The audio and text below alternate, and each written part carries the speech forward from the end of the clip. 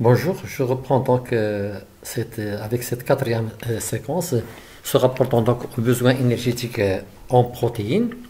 Alors les protéines sont donc formées essentiellement de quatre éléments, le carbone, l'hydrogène, l'oxygène et l'azote, contrairement à ce qu'on a vu pour les glucides qui sont constitués que de trois éléments, on ne trouve pas d'azote. Ce sont donc parce que ce sont donc des corps quaternaires. Alors les protéines constituent euh, la structure de base de notre organisme et rentrent pour 18 à 20% dans sa composition.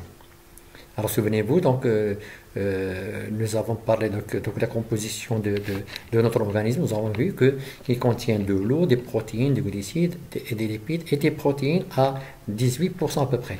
Ils sont donc particulièrement abondants dans les muscles. Ils représentent 75% du, du poids des muscles. Donc les, protéines on trouve principalement au niveau des musculatures. On distingue euh, des protéines de structure qui comptent dans la structure de notre organisme, qui sont donc euh, la charpente de notre corps, la base de nos cellules, telles que les muscles, la peau, les cheveux, l'os et nos organes. Et il y a des protéines fonctionnelles qui gouvernent l'activité et le fonctionnement de nos cellules, telles que les enzymes, les hormones, l'hémoglobine, les plaquettes, les, anticorps et bien d'autres molécules qui ont un rôle fonctionnel euh, de transport ou de, communication et plein de, plein de choses. Donc il y a des protéines de structure qui entrent dans la structure de l'organisme et d'autres qui ont un rôle fonctionnel. Alors le rôle des protéines, les protéines donc interviennent dans plusieurs phénomènes biologiques, la croissance et l'entretien de, l'organisme. C'est concerne donc les protéines de structure. On dit que ce sont donc des aliments plastiques. Et ils rentrent également dans la défense, ils jouent un rôle dans la défense de l'organisme, euh, via donc les immunoglobulines ou anticorps. Ils, jouent ils ont un rôle également dans la communication cellulaire. La plupart, la plupart donc, des hormones sont des protéines. Ils participent au métabolisme cellulaire via donc euh, des, enzymes qui sont des protéines. Euh, ils, ils contiennent également de leur rôle énergétique. euh, dans la mesure où, dans un, euh, régime équilibré, donc, il est important donc d'apporter que l'apport énergétique soit de 15%, euh, doit, se- faire par la- les protéines. Donc, euh, 15% de la ration calorique euh, provient donc des, protéines dans un régime équilibré, et dont seulement 30% sont utilisables par l'organisme. Donc, euh, cela veut dire que euh, l'énergie qui est pr- produite par le- les protéines n'est pas totalement utilisable par le- par- par- l'organisme. qu'il y a une partie qui est, perdue. On va le voir plus tard. Alors, les protéines alimentaires sont donc les seules molécules organiques qui apportent à l'organisme de l'azote dont il a besoin pour fabriquer ses propres protéines et ses acides nucléiques. Donc l'origine ou la source d'azote pour l'organisme, ce sont donc les protéines. Et euh, il est intéressant de signaler qu'on n'a pas de réserve d'azote dans, dans notre organisme. Donc tout l'azote dont on a besoin doit être apporté par l'alimentation et via donc, les protéines. Alors, l'apport conseillé en protéines, donc les protéines de l'organisme sont renouvelées en permanence. Une partie d'entre elles est recyclée, l'autre partie est éliminée dans les urines sous forme d'urée. Donc, l'urée qui contient de l'azote, bien évidemment. Lorsque nous avons atteint notre taille adulte, notre corps euh, détruit 30 grammes de ses propres protéines chaque jour. Quand j'ai dit propres protéines qui rentrent dans les structures des cellules, les membranes, les globules rouges et ainsi de suite. Donc une partie est recyclée, mais 30 à 80 grammes sont perdus, transformés en urée et éliminés par les urines. Donc les apports alimentaires en protéines doivent compenser les pertes quotidiennes en azote qui sont de l'ordre de, donc en, protéines et en conséquence, donc en azote qui sont de l'ordre de 5 à 7 grammes par jour d'azote. Alors, les besoins en protéines sont estimés à 1 gramme par kilo par jour, soit pour un adulte sédentaire, 70 à 80 grammes par jour pour un homme, et puis 50 à 60 grammes par jour pour une, femme. Alors, comme ce que j'ai, euh, comme ce que euh, on a déjà dit, donc 70 grammes de protéines vous apportent 70 fois 4 kilocalories. Donc à peu près 280 kilocalories qui, qui, doit correspondre aux 12% de la quantité d'énergie qui doit être apportée par l'organisme et par les substrats énergétiques.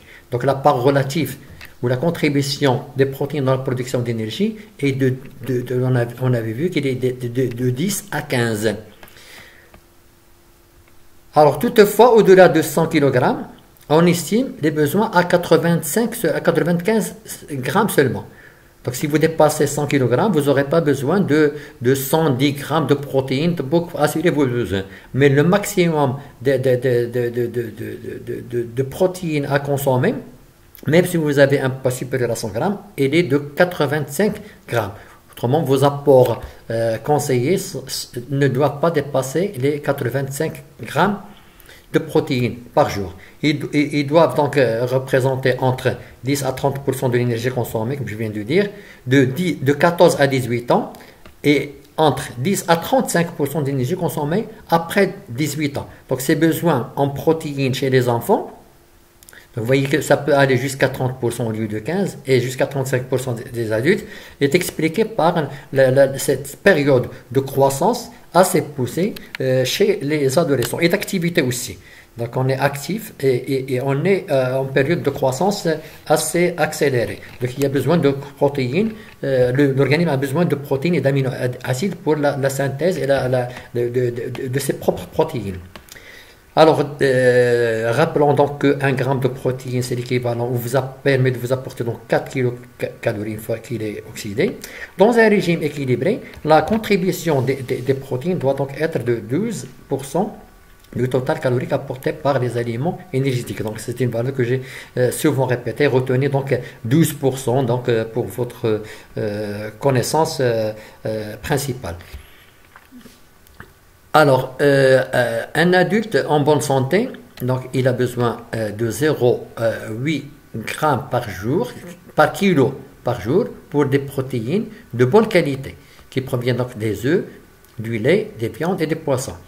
Et un enfant de 2 à 12 ans, à 10 ans, il a besoin de 0,9, l'adolescent 0,8 à 0,9, une femme enceinte 0,9 grammes par kilo par jour, Femme allaitante 1,4. Sportif d'endurance 1,5 à 1,7. Alors qu'on parle d'endurance, c'est-à-dire le, euh, euh, le, marathon par exemple. Alors pourquoi on a besoin de plus de protéines? Parce que pour donc permettre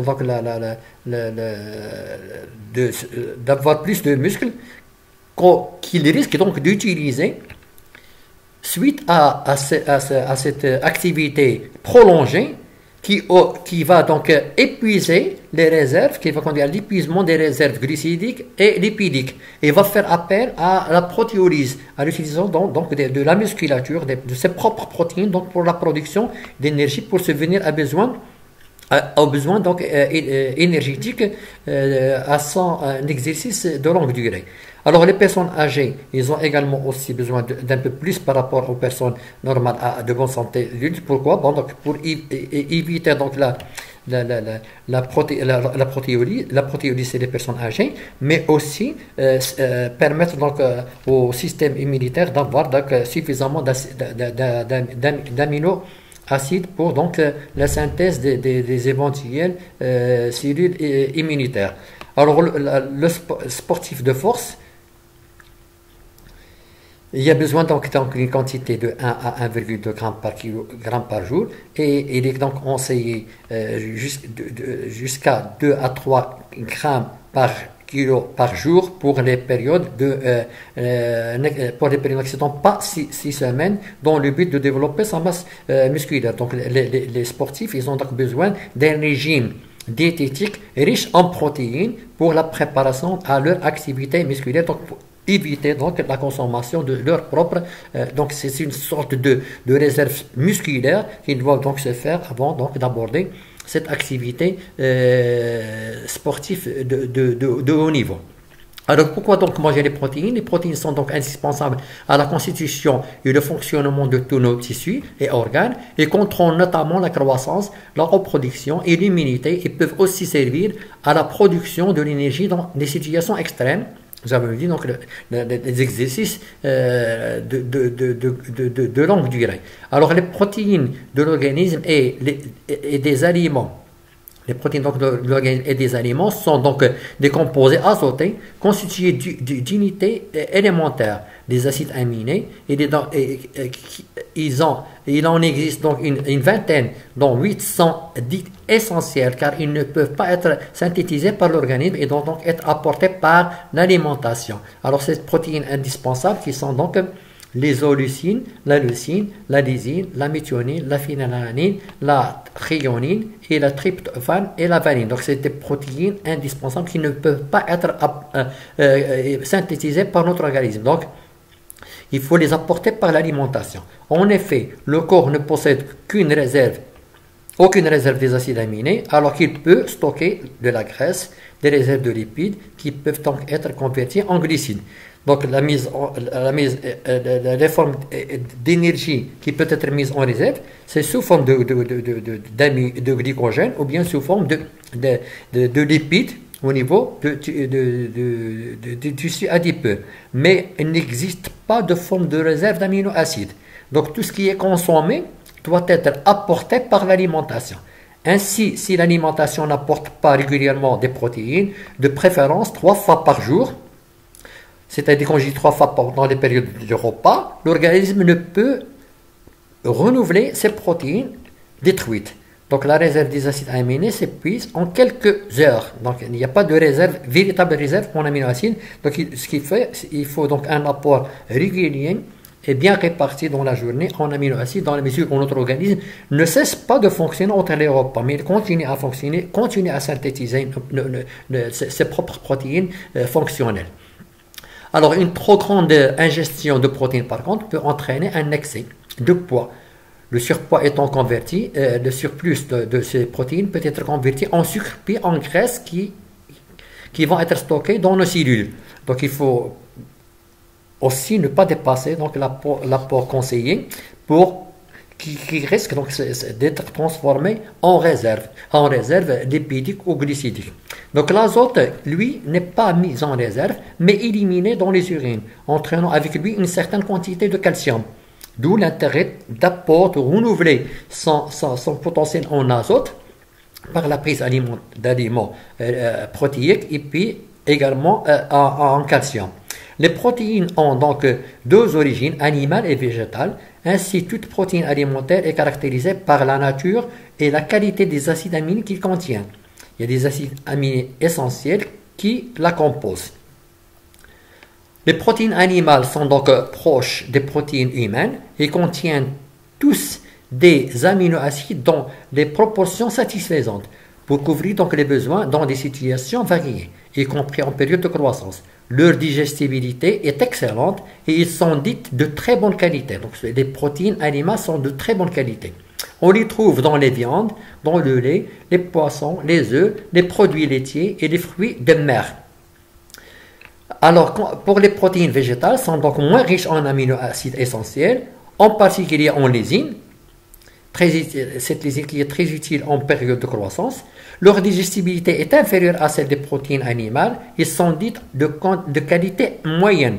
Donc, deux sortes de protéines, protéines animales de très bonne qualité et des protéines végétales de qualité moyenne. On les trouve dans les céréales, farine, les pâtes, les riz, les pains, les, lentilles, euh, les légumes secs, soja, pois, euh, les pois chiches, les lentilles, les, les haricots verts, les, pommes de terre et les fruits oléagineux. On les trouve dans les noisettes, dans les, amandes, les noix, et ainsi de suite. Alors la complémentarité des, sources de protéines est indispensable. Il faut donc manger aussi bien des protéines d'origine animale que des protéines d'origine euh, végétale compte tenu de la diversité d'aminoacides entre ces deux euh, catégories. Alors l'établi ici indique donc chez l'homme les teneurs en acides aminés essentiels conseillés par l'organisme, euh, par l'organisation mondiale, mais ce n'est pas des chiffres à retenir, mais vous avez avoir au moins, au moins une idée sur les besoins quotidiens en différents types d'aminoacides essentiels. essentiels. Donc vous pouvez voir que les sources animales proviennent de, ces aliments-là, sources végétales dont, on a euh, parlé. Alors ces six aliments, donc euh, exemple de, des aliments qui sont euh, riches en, protéines, on retient donc six, six, aliments, le foie, aussi riche en protéines qu'une bonne viande, le foie est surtout pauvre en graisse, 10, 10, 10 grammes de, foie peut vous apporter jusqu'à 20 grammes de protéines et 10 fois moins de lipides. Donc le foie, il est riche en protéines et pauvre en lipides. Les œufs contiennent des protéines de qualité supérieure qui permettent le maintien de la, euh, substance tissulaire et une prise rapide de masse musculaire. Donc il est conseillé d'apporter un régime riche en, euh, avec des œufs pour donc les sportifs pour les préparations de leur compétition. Donc les protéines de, l'œuf sont considérées comme des protéines de référence. Le yaourt contient, euh, grâce aux, ferments qu'il qui, renferme, yaourts, c'est des, micro-organismes, régulent la flore intestinale et facilitent le transit intestinal. Ils sont aussi très utiles en phase de récupération. De plus, ils sont une très bonne source de calcium, de zinc et de protéines. Alors, il est souvent conseillé de prendre des antibiotiques avec les yaourts. Pourquoi Les yaourts, ils vont donc essayer de, vous apporter la microflore indispensable euh, à la digestion intestinale. Le soja très riche également en protéines, les pommes, les pommes avec euh, sa richesse en fibres solubles, la pectine, la pomme de terre stabilise donc la glycémie et de par sa richesse en chrome, il favorise euh, l'entrée des glucides dans la cellule. Donc il est très important de, consommer également des, fruits comme source aussi bien de glucides que de protéines. Alors les légumes et fruits secs, les légumes et fruits secs ont une, très grande richesse en protéines sans, apport de lipides euh, euh, superflus. Donc vous avez donc des aliments qui, vous apportent des protéines tout en faisant très attention aux apports de, lipides parce qu'ils n'en en contiennent pas. C'est pour ça qu'il est, il est donc recommandé de, varier son alimentation et donc euh, permettre à l'organisme d'enrichir son alimentation en, aliments euh, euh, riches en, nutriments bien déterminés par rapport à un autre.